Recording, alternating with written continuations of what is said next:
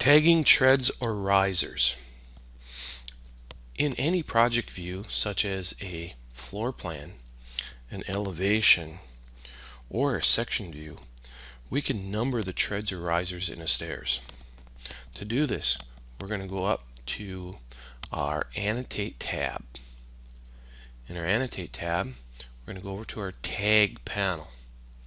In our Tag panel, we have stair tread or riser number.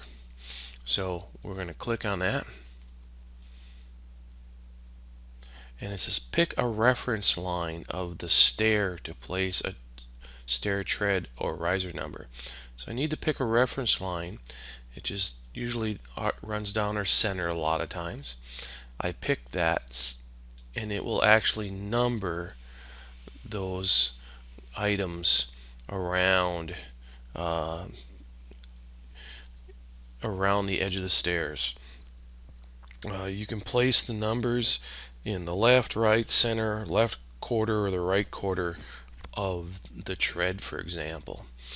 Uh, and this is kind of handy when they build the stairs to have the various uh, stair treads or the risers if we're in the section view uh, for construction.